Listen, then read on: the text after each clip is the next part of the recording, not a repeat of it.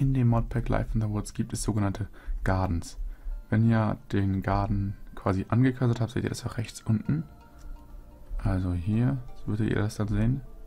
Da steht das Berry Garden. Wenn ihr darauf haut, ah, passiert natürlich nichts.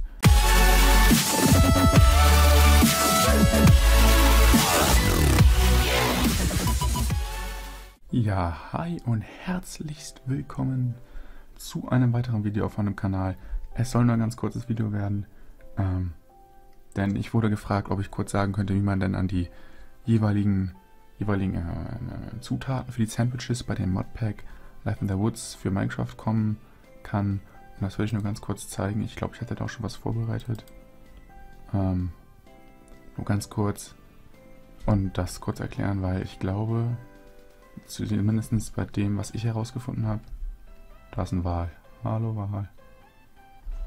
Äh, zumindest bei dem, was ich herausgefunden habe. Ähm, ähm, ähm, kann man das nicht so einfach bekommen. Beziehungsweise, beziehungsweise, ich hatte eine Insel gebaut, die ich leider verloren habe. Was die? Bitte lass die. Ja, sehr gut. Genau. Hier kann ich euch jetzt einmal zeigen, was ich meine. Und zwar, in dem Modpack Life in the Woods gibt es sogenannte Gardens. Wenn ihr den Garden quasi angecursert habt, seht ihr das auch rechts unten. Also hier, so würdet ihr das dann sehen. Da steht das Berry Garden. Wenn ihr darauf haut, ah, passiert natürlich nichts. Dann müssen wir einmal schnell den Berry Garden wiederholen. Berry Garden, here we go. So, und dann gehen wir einmal in... So, und zwar... Ähm, es gibt diese verschiedenen Gardens. Ich zeige es jetzt erst einmal. Also wir haben den Berry Garden, wir haben den Desert Garden, den Grass Garden, Gird Garden, ich weiß gar nicht genau, was da drin ist. Oder was Gird heißt. Dann haben wir noch den Ground Garden, Herb Garden, Leafy Garden, Mushroom Garden, Stalk Garden, Textile Garden und Tropical Garden. Und ich hau jetzt einmal rauf und zeige euch hier bei jedem schnell, was da drin ist. So, Berry Garden, wer hätte damit gerechnet, sind Berries drin. Mit Candleberry kann man, glaube ich, ausschließlich Kerzen machen. Und mit Blackberries kann man zum Beispiel, wie in meinem vorigen Video, was auch in der Infobox verlinkt ist, äh, zum Beispiel Sandwiches machen mit Berry Marmelade, Blackberry Marmelade. So. Dann haben wir den, diesen Garten hier. Ähm, das ist der Desert Garden gewesen. Da kriege ich einen Kaktusfrucht raus. Den kann ich selber noch nicht. Ja, was ich glaube, ich schätze mal, die kann man auch essen. Ähm, was man genau mit Kaktus, äh, Kaktusfrucht machen kann, weiß ich nicht. So Grass Garden. Ähm, also man muss dazu sagen, ich habe tatsächlich noch nicht alle Gar dieser Garden wirklich gefunden. Ich habe jetzt erstmal alle aufgestellt, damit ihr einen Überblick über die Gardens habt.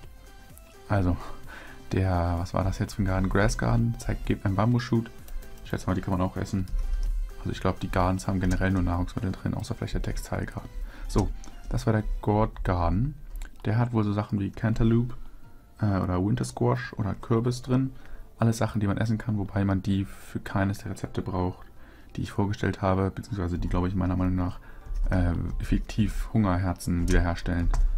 So, dann haben wir den Ground Garden. Der ist basic, da hat man zum Beispiel Peanuts drin. Äh, danach wurde ich explizit gefragt, für Sandwiches braucht man nicht Peanuts. Am besten findet ihr dafür einen Ground Garden. Die stehen, ich glaube, in jedem Biom kann man die finden, außer in der Wüste. Und im Schnee, wobei ich glaube sogar im Schnee.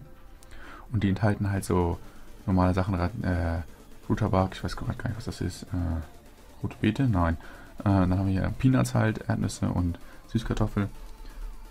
Süßkartoffel ist auch relativ gut, wenn man am Anfang nichts hat, weil die kann man einfach in den Ofen tun, aber auch einen, der ein bisschen was heilt. So, so das ist Harvest Garden. Genau, da haben wir hier einmal Ginger, Mustard Seeds, Spice Leaves. Das sind, glaube ich, alles Sachen, die man ähm, für Rezepte braucht, die man nicht so essen kann. So, der Leafy Garden beinhaltet ja, Artischocken, das sind Sellerie und sowas. Das sind, äh, das sind auch so Zutaten, die man auch so essen könnte. Aber die man auch natürlich wie bei allen Sachen in diesem Text, äh, Texture, sag ich schon, Modpack eher verarbeiten sollte. Der Mushroom Garden enthält Pilze, ganz normal. Mit denen kann man natürlich wieder Pilzsuppen machen und was auch immer. Stalkern kenne ich selber noch gar nicht. Ah doch, kenne ich. Da sind auch äh, zum Beispiel Bohnen, Sojabohnen. Mit Sojabohnen kann man Tofu herstellen. Wie, weiß ich leider noch nicht. Guck mal, da hinten steht auch ein Gourd Garden, sehe ich gerade. Ähm, genau, das sind auch so äh, normale Gartenzutaten, die man am besten anpflanzt. Und dann und dann äh, weiterverarbeitet. Der Textilgarten enthält eigentlich nur Baumwolle. Die könnt ihr auch anpflanzen. Wozu man Baumwolle braucht, weiß ich noch nicht. Ich schätze mal, damit kann man irgendwann Wolle herstellen.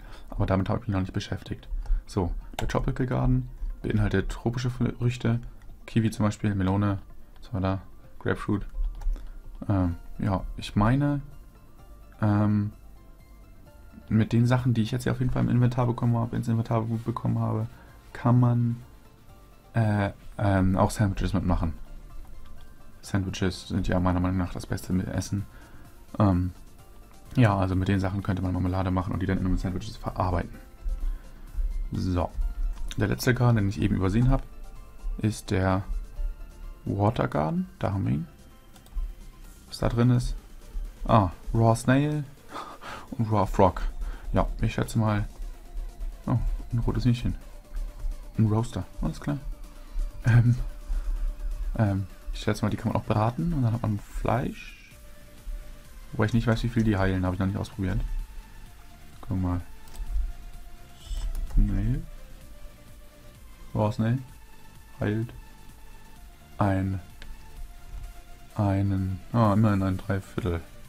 Aber die Cook Snail auch, also daher. Achso, wenn ihr sehen wollt, wie viel das Essen jeweils ähm, euch quasi regeneriert, müsst ihr einfach darauf halten so und dann Shift drücken. Ja, das ist äh, bei Windows auch in den meisten Fällen die Taste über Steuerung. Oder über FN, je nachdem wie ihr eure Tastatur angeordnet habt. So, ich würde sagen, das war's. Zu guter Letzt brauchen wir noch einen Wal, finde ich. Weil ich die Viecher mag. Komm, spawne dich wohl, ja. Und das ist ein Wal. Gut, oder? So, dann würde ich sagen, das war es erstmal von diesem Video. Äh, Screenshot direkt. Oh, er stirbt. Das war es erstmal mit diesem Video. Vielen Dank, dass ihr zugesehen habt. Ich hoffe, ich konnte einigen von euch helfen, die zwar mein erstes Video zum Beispiel gesehen haben, aber nicht wussten, wie sie an die Zutaten kommen. Ähm, ja, vielen Dank fürs Zuschauen. Hauen rein, bis zum nächsten Mal. Macht's gut. Ciao.